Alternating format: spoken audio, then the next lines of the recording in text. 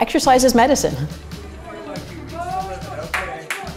Well, exercise is kind of like almost a wonder drug in that it affects all aspects of the body from the muscles and circulation to the brain and its functions.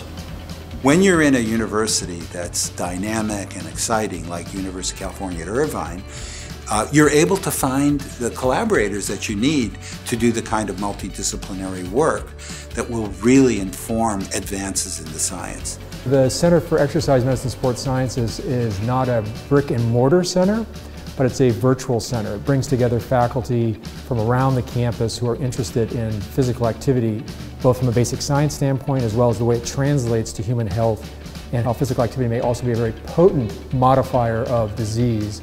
And so uh, the faculty who affiliate from, with the center are from the School of Medicine, Engineering, Social Sciences. We work with uh, the School of Fine Arts, with programs in dance. We work with rehabilitation. Within the School of Biological Sciences, uh, there's myself. I mean, I'm working on trying to redefine what concussion is. And what I mean by that is that concussion is defined by symptoms. You get a head impact, an impact to the head, and you, you vision is blurred, or you get a headache, or you're dizzy.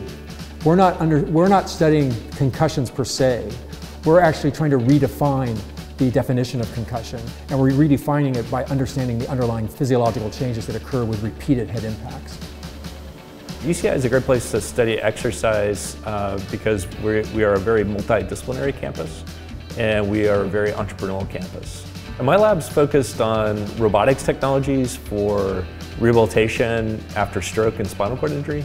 So for example, we had a student who was a musician and we developed the wearable sensing glove and he had the idea to connect the glove to uh, Guitar Hero. And so one of my favorite research results of all time is we gave it to 17 stroke patients, asked them to do a certain amount of training, several, like a thousand repetitions per week. The first week we asked, they did what we asked, but then after that they did even double, triple, uh, showing kind of this uh, incentivized nature of the game. Well, I think that, uh, you know, the Pediatric Exercise and Genomics Research Center has really been a model, you know, for how the campus as a whole could mobilize to address exercise. I mean, we were one of the, probably the first center uh, to focus on exercise, on lifestyle. The Pediatric Exercise and Genomics Research Center, also known as PERC, was established a few years ago as a hub for researchers who are interested in studying exercise medicine using the most advanced technologies and innovating approaches. PERC was selected to be the only pediatric clinical center in a very large and ambitious NIH initiative, MoTrPAC, the molecular transducers of physical activity. The overall goal of MoTrPAC is to characterize the molecular maps in response to physical activities in all age groups.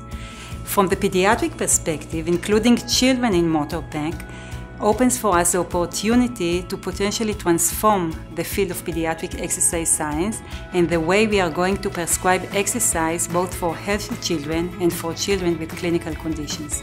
One of the things at UC Irvine, there's a, a, number of faculty here that have had a big impact on the field of exercise science.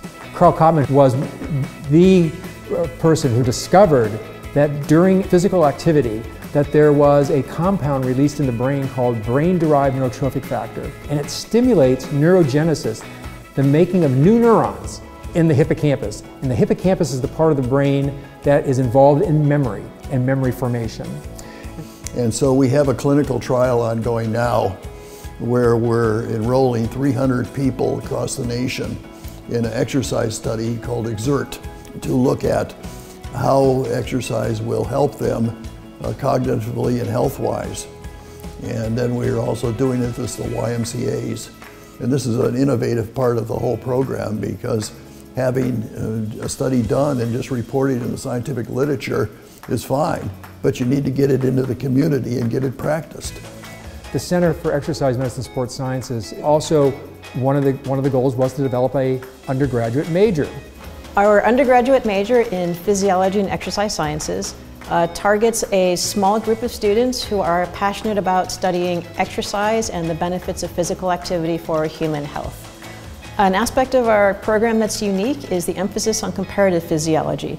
So studying other animals to understand better our own bodies. Training the next generation of exercise scientists is important because many of them will be our doctors and physical therapists in the future. This is the best place from the support of the leadership and all the way from our staff and faculty and the students that are supporting us. This is really the best place that we can do research.